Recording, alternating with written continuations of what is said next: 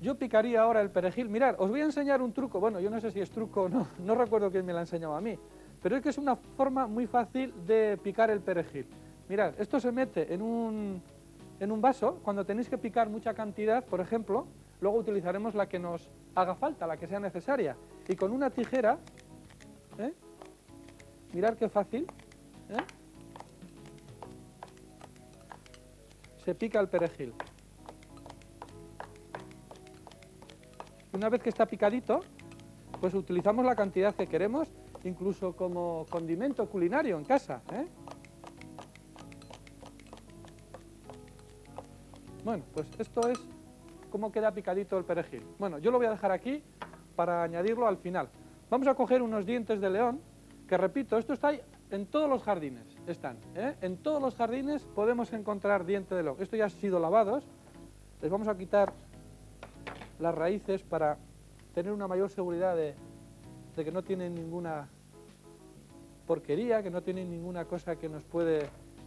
Y la parte superior de las hojitas que suelen estar picadas y tal. ¿eh? Bien, y esto es lo mismo. Mirad, yo os voy a dar un consejo.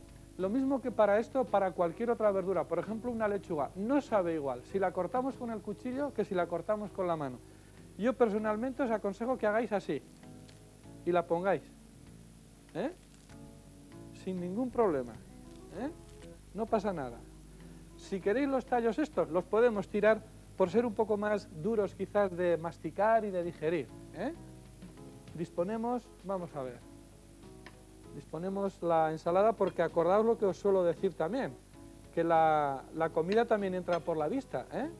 Entonces vamos a disponer aquí esta ensalada para que también nos entre por la vista. ¿Eh? bien colocadita. Bueno, vamos a coger un poquito de espinaca. Esta la hemos hervido, ya está hervida y la vamos a disponer una pequeña cantidad también. Aproximadamente, bueno, va a depender un poco del apetito que tengamos también, Y mango, que como he dicho, en realidad su nombre es manga. Bien, vamos a coger medio mango, aproximadamente. Mirad qué color más bonito ¿eh? tiene este amarillo naranja. Y no tengáis miedo en mezclar, por ejemplo, en las ensaladas, frutas dulces. Una de las cosas que yo tomo mucho en ensalada, por ejemplo, es la manzana. ¿eh? Incluso se hacen más digestibles las, las ensaladas. Y esto lo vamos a poner aquí, también poniendo un poco de esmero en adornar la ensalada.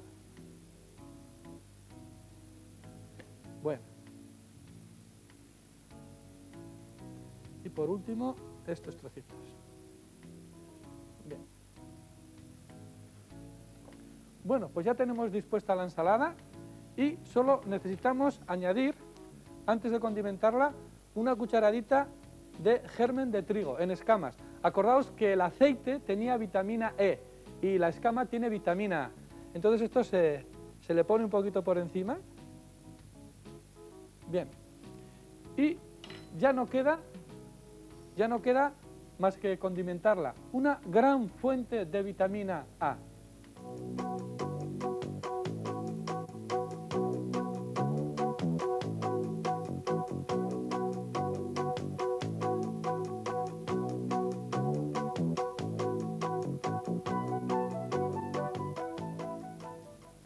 Solo nos queda condimentarla. ¿eh? Le ponemos un poquito de perejil, ¿Os acordáis lo que os he enseñado antes? ¿Cómo se pica? ¿Veis que bien ha quedado? Ahora utilizaremos la cantidad que creamos necesaria. Por cierto, que el perejil es uno de los eh, frutos, una de las verduras, uno de los condimentos, como le queráis, que más cantidad de vitamina A tiene. Ponemos un poquito de perejil, suficiente. Fíjate qué bonito ha quedado también, ¿eh? Acordaos que esto juega un factor importante. Bien, también os quiero decir que los que sintáis cierto reparo en comer esta ensalada, yo no sé si habéis comido alguna vez diente de león, es exquisito, es un poquito amargo, es un poquito amargo. Por cierto, no solamente se va a beneficiar vuestra vista y vuestra piel y vuestras mucosas y el jugos gástricos por la vitamina A, con el diente de león le damos un alivio, le damos una ayuda, un empuje al hígado y la vesícula biliar increíble. ¿Por qué? Porque lo activa muchísimo, es fabuloso ¿eh? para el hígado y la vesícula biliar. Bien, y solamente me queda deciros que lo que os estaba diciendo antes, que si todo esto os da un poquito de reparo en tomarlo o creéis que, bueno, eso nos va a gustar, podéis hacer lo mismo en la licuadora. Lo licuáis y le añadís un poco de miel, la que queráis, para darle sabor. Y os tomáis eso en ayunas durante siete días para conseguir vitamina A. No lo olvidéis.